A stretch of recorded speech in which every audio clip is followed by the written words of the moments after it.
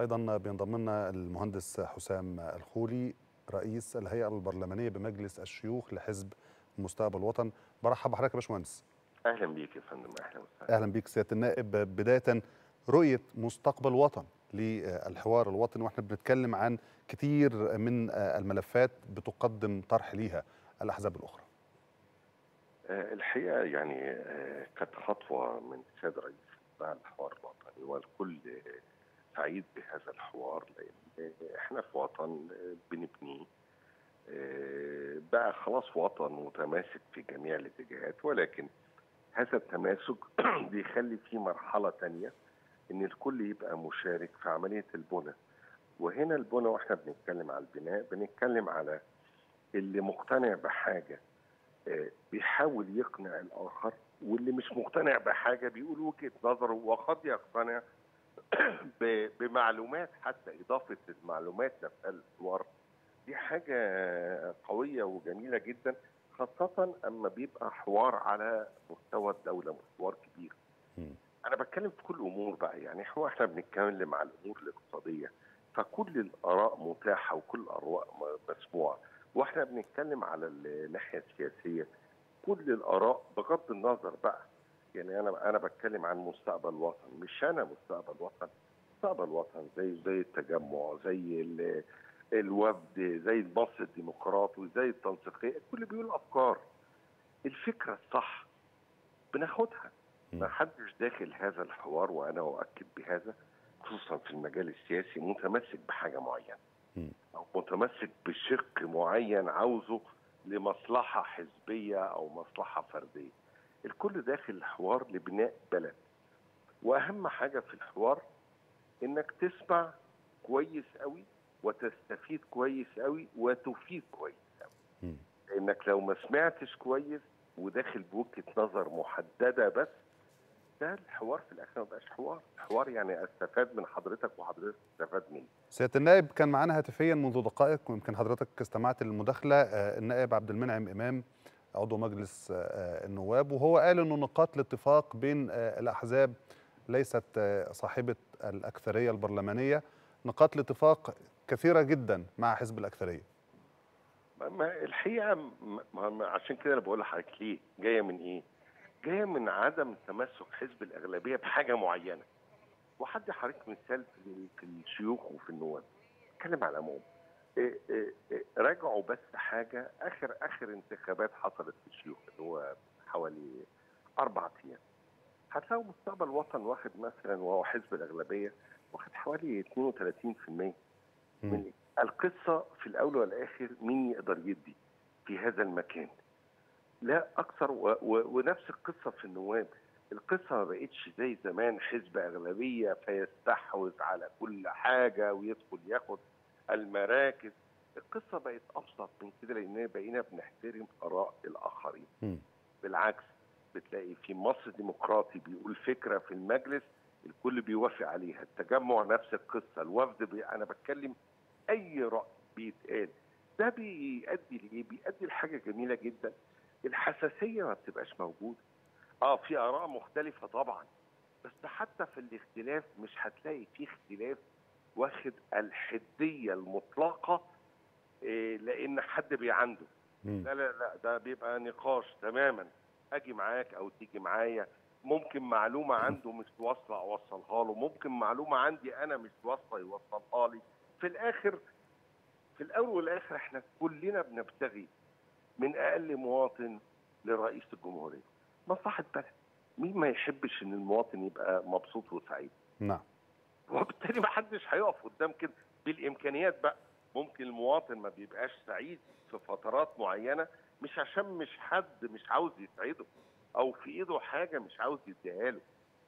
بيبقى واجبنا ساعتها إن إحنا كلنا نوضح لبعض الظروف إيه ونطلع بأحسن الحلول بأقل الامكانيات طيب في إطار الحلول والإمكانيات سيادة النائب هناك بعض المقترحات حول بعض النقاط ومنها على سبيل المثال قانون آه، الانتخابات المحلية مثلا.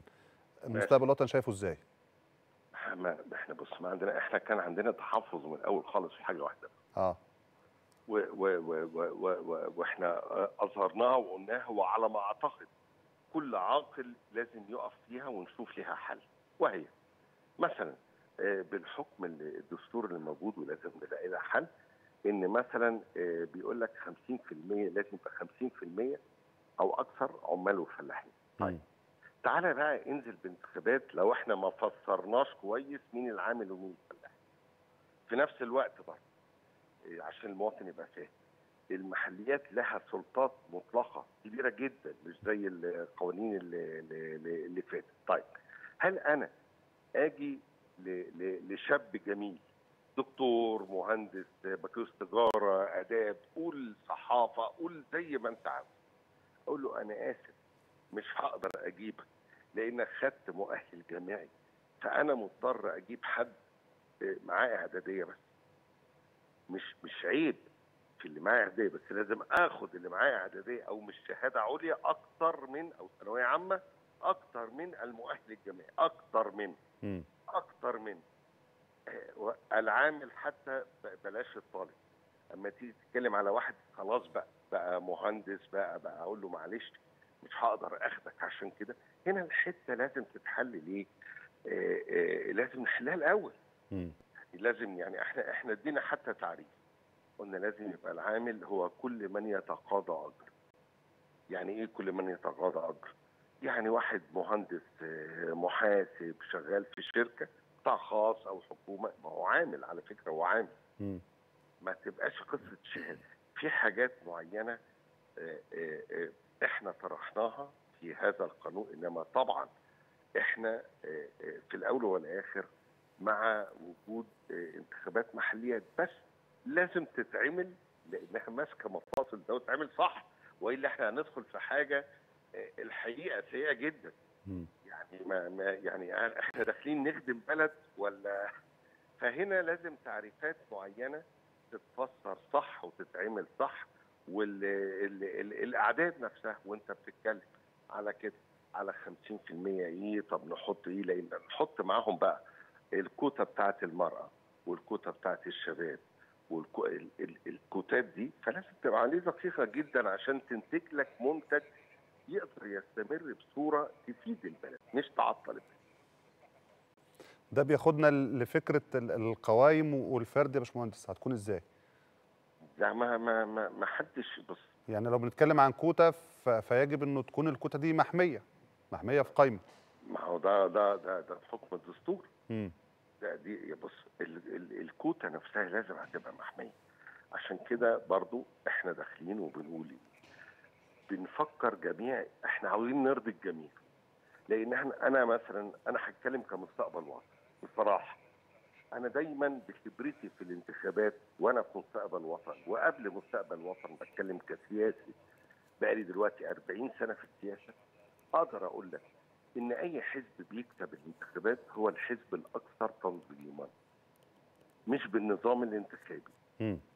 غير النظام الانتخابي زي ما أنت عاوز هيفضل يكسب الأكثر تنظيما ايا كان بقى والأكثر شغلا قبل صناديق الانتخابات. يعني دايما إحنا بنبص على صناديق الانتخابات دي المرحلة الأخيرة. إنما اللي بيشتغل قبل كده وبيبقى منظم هو اللي بيقدر يحصل على أكثر قدر من الأصوات. وبالتالي مش هتلاقينا عندنا التمسك الغير عادي لا لازم يبقى اودي لك مثال تاني واقع طيب إحنا عندنا أغلبية في مجلس النواب صح؟ صحيح.